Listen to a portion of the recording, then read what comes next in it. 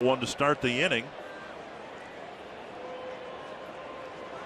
Swing and strike two, and Suzuki gets another uh, Now wound. got, now he's got the other foot.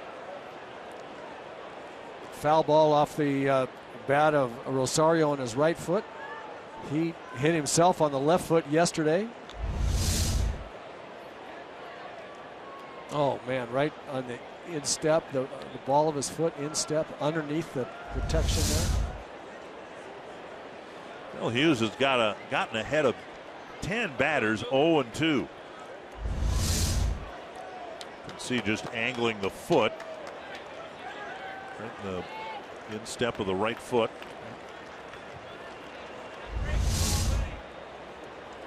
If there's ever a time when Dave Pruemer and Ron Gardenhire come out and they bring Kurt Suzuki with them off the field, you better call a paramedic.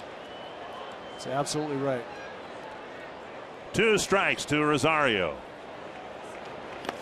And then he has to show some quickness and life in those feet to shuffle his weight to the right to keep the tying run from scoring.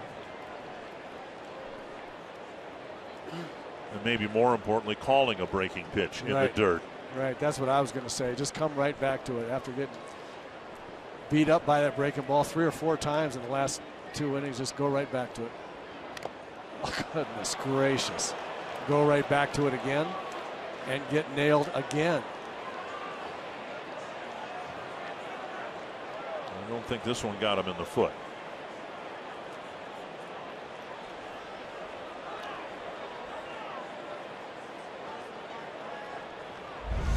I don't even want to watch this replay. I, I, I really don't.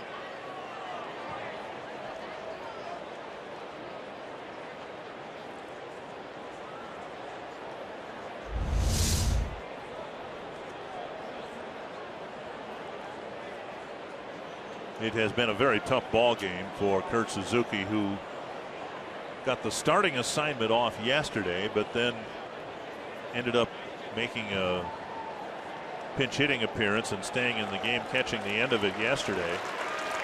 And as we alluded to it, there was a play, hit a ground ball, a little chopper in front of the third baseman. There's been a scoring change. Suzuki was given credit for a hit, but now no error was put on the play. So Suzuki got two runs batted in instead of one yesterday, and none of that matters to Suzuki right now, I can promise you.